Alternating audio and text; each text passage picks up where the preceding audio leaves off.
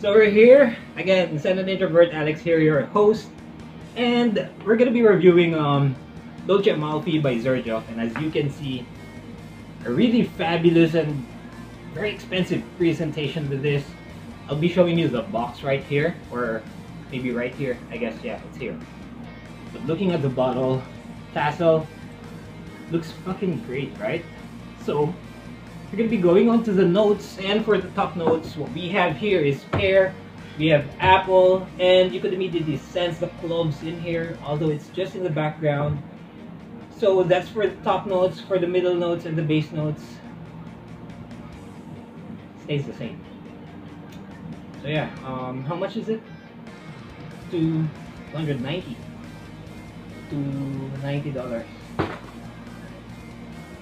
Almost $300 for for this linear set. I'm out.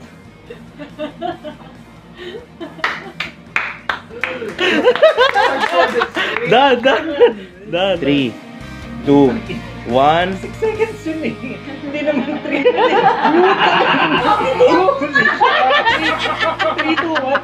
Camera, action. Okay. 6 seconds. Camera, action! Alright.